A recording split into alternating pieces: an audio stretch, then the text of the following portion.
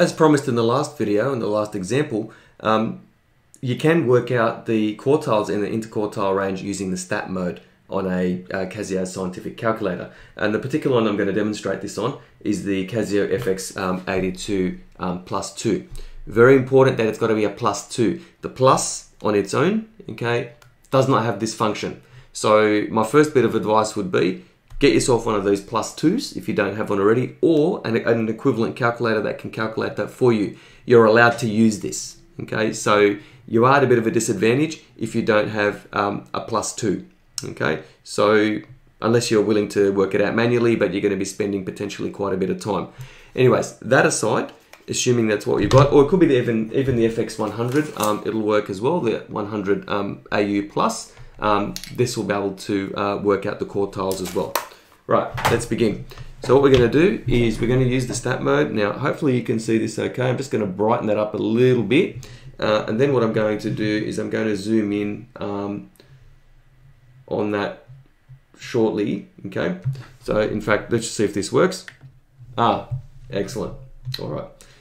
So first thing we're gonna do is we're going to get the, put the calculator into stat mode. We press the mode button, okay? And you've got uh, one, two, and three. We're gonna press number two, all right? Stat, and we're gonna press number one, one variable, uh, or single dimensional, uh, which is sort of the regular statistics that we use. Right, then we've got a, a, a, column there, like a kind of like a, a, spreadsheet uh, type column, and we're going to enter in um, the scores. Okay, so hopefully we can see that okay. Yes. All right, so I'm just going to enter those in. After each value, just press equals. Five, one, two, five, seven, eight, three, one and 9. Okay. So now that we've entered those in, all right, we want to calculate Q1, Q2, and Q3. Press AC. Relax, the data's still there, hasn't disappeared, okay? Now, this button and this, uh, what it says when it where it says stat, you're going to use that quite a bit. Press shift. In fact, anything in yellow on the calculator uh, above the keys, um, you use the shift key. Okay, so this key there, just push it once, don't have to hold it. I notice some people, they hold the button down. It's not like a shift key on a computer, all right, on a, on a, on a laptop. Just press it, a little, little S will, will come up on your screen, all right? Then press number one. And voila, you get this awesome statistics menu and you can work out all sorts of cool things with it. Now, what we need, we need the min-max menu, all right? So press number five, and what do you notice? Minimum value, maximum value, Q1, familiar with that now, lower quartile, the, the quartile at the bottom that separates the bottom 25% from the upper 75%. Our favorite median, that's our Q2, that's the middle value or the, or the, or the um, center score. And you've got Q3, the upper quartile. All right, so what we're going to do is we're going to work out uh, the uh, lower quartile first, Q1. Just press, press it and press equals. Okay. Um, Okay, so just pushing the equals key, 1.5.